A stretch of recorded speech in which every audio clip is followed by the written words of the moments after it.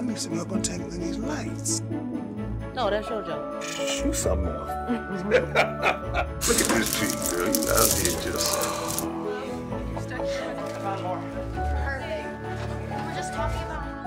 just—you know, decorating the Christmas tree is one of my favorite parts of Christmas. Mine too. It is. I love it. Merry blooming Christmas to the lot of you.